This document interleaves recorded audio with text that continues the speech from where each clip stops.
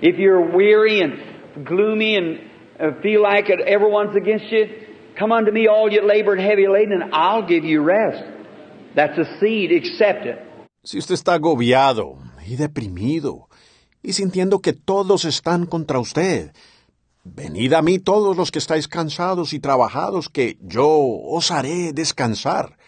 Esa es una semilla. Acéptela. And if you're sick, he was wounded for our transgressions, with his stripes we're healed. Accept it. It's a seed will produce.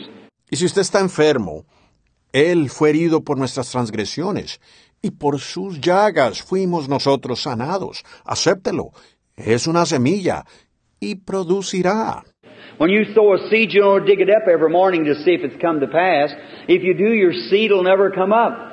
Cuando usted siembra una semilla, usted no la desentierra cada mañana para ver si ya ha sucedido.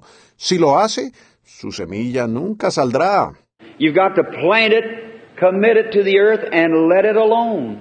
It's up to nature, God, to water it and to see that it produces. Is that true? Usted tiene que plantarla, encomendarla a la tierra y dejarla tranquila. Depende de la naturaleza, de Dios, regarle y ver que produzca. ¿Es así? So that's the way you do the Word of God. Accept it in a good heart.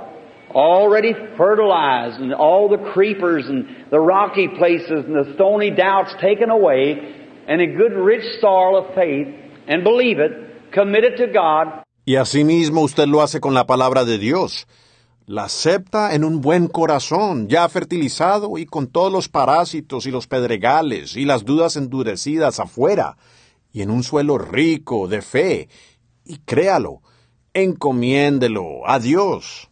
and walk away testifying that you have received what God has promised you, and He's the high priest of your confession to make right anything that you confess that He has done. That's the gospel. Y salga de allí testificando que usted ha recibido lo que Dios le ha prometido. Y Él es el sumo sacerdote de su confesión, para manifestar todo lo que usted ha confesado que Él ha hecho. Ese es el Evangelio.